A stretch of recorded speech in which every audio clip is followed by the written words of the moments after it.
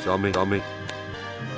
O Lord God of my salvation, I have cried day and night before thee. Before. Let my come before thee. Incline thine ear unto my cry.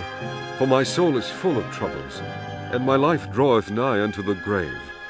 I am counted with them that go down into the pit. I am as a man that hath no strength.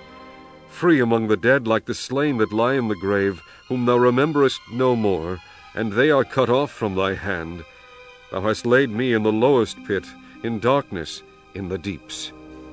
Thy wrath lieth hard upon me, and thou hast afflicted me with all thy waves. Selah. Thou hast put away mine acquaintance far from me.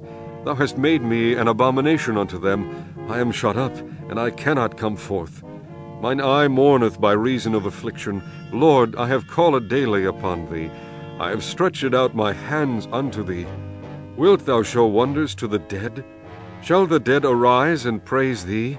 Selah. Shall thy loving kindness be declared in the grave, or thy faithfulness in destruction? Shall thy wonders be known in the dark, and thy righteousness in the land of forgetfulness? But unto thee I have cried, O Lord, and in the morning shall my prayer prevent thee. Lord, why castest thou off my soul? Why hidest thou thy face from me? I am afflicted and ready to die from my youth up. While I suffer thy terrors, I am distracted. Thy fierce wrath goeth over me, thy terrors have cut me off. They came round about me daily like water. They compassed me about together. Lover and friend hast thou put far from me, and mine acquaintance into darkness.